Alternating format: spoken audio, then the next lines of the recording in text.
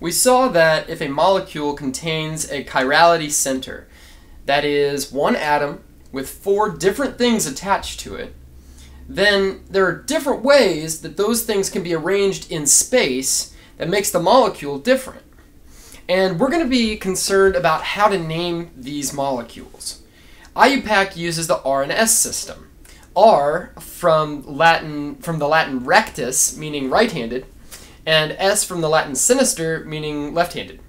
So the first thing we need to do, if we're given a molecule, we need to identify all the stereocenters because you don't know, it might have more than one. So let's start with this molecule here. Okay, let's see.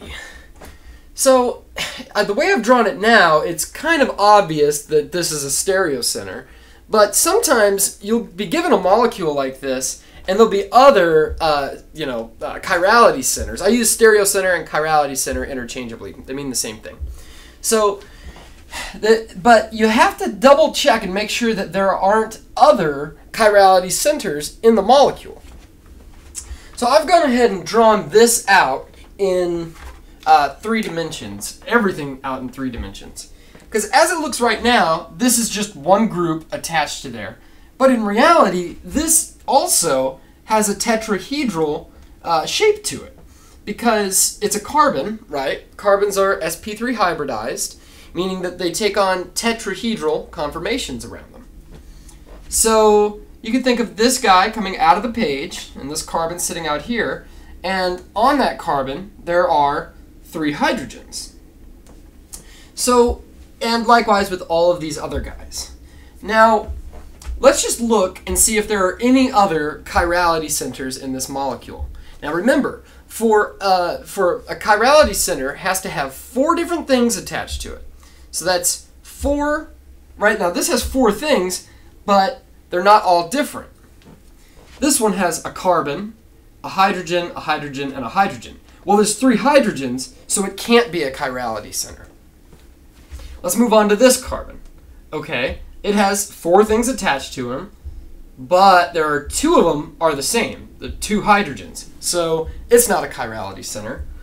Likewise, we ran into the same thing over here. There's three hydrogens. Those are the same, so that doesn't work. This hydrogen here, it's only a hydrogen, so it can't be a chirality center. It's only attached to one thing. Now this oxygen has two things attached to it. So right there, it can't be chiral because it doesn't have four things attached. So we've gone through this whole molecule and we've identified the one and only chirality center, which is this. Actually, we haven't even made sure that that's a chirality center. So let's look. We have this carbon. It's attached to a hydrogen. It's attached to a hydroxyl group, a methyl group, and an ethyl group. So those are each each of those are four different things, and they're all attached to the same carbon. So yes, that's a chirality center. Now, we now that we've done that, that's our first our, our first step for the R and S system. The second step is to assign priority to these different groups. Now, priority is given based on molecular weight. So if you look at, or I'm sorry, atomic weight. So if you look at the atom here that's directly attached, and I've drawn this out because the first thing we need to identify is the first point of difference. Now, this right here, let's say that this were a long chain of like a hundred.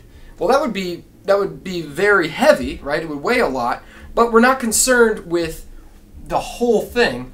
The first thing we do is go directly from the chirality center out to the very first atoms that are attached. In this case, it's just these green ones here. And that's why I've color coded this. So let's see. We have, let's use brown. Okay. So on this one, we have only a hydrogen directly attached. This one, it's a carbon directly attached. This one, it's a carbon directly attached. And this one is an oxygen directly attached to the chirality center. So which one of those is the lightest and which is the heaviest? Well, if you, you know, look at the periodic table, if you can't figure it out, the hydrogen has atomic number 1, so it's the lightest.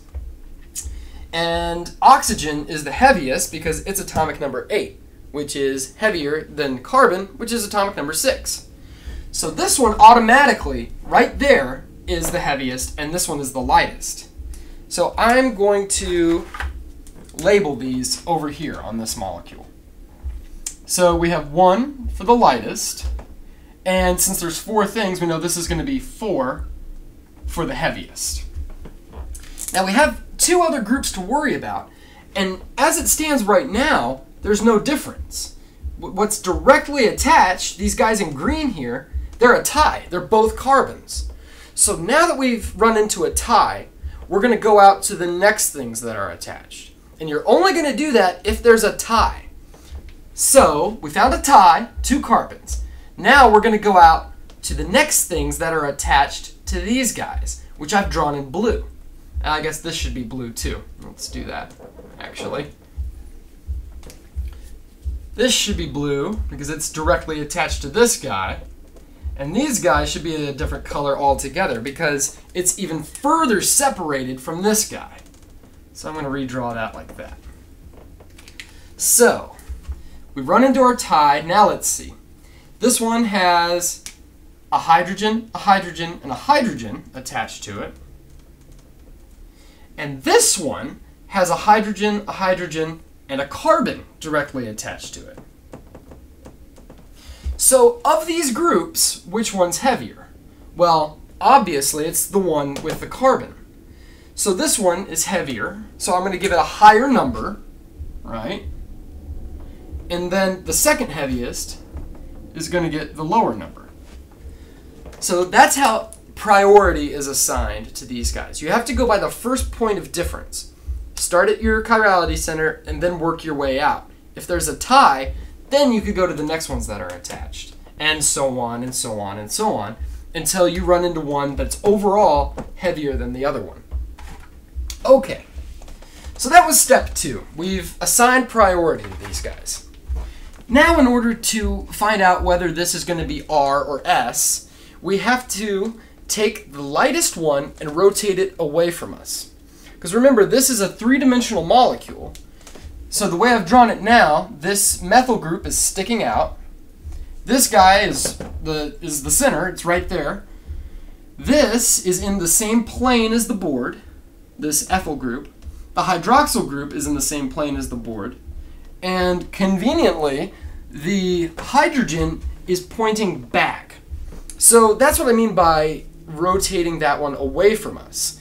It has to be, as you're looking at it, into the board. So now that we've done that, we luckily it's uh, it's been done for us. Now we see whether this whether the next ones go in a clockwise or counterclockwise fashion. So I'm going to start with the heaviest one and then go to the lightest. So just like like out, you know, a minute hand going around a clock, we're going to start with the heaviest and go to the lightest. So we start with 4, 3, and then 2. So we see that that makes a clockwise motion around like this.